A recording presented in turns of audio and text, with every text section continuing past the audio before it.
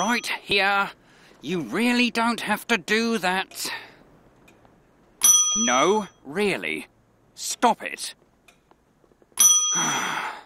Why did I even buy that thing?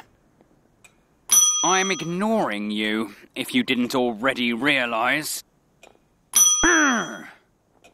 Stop it! Eep!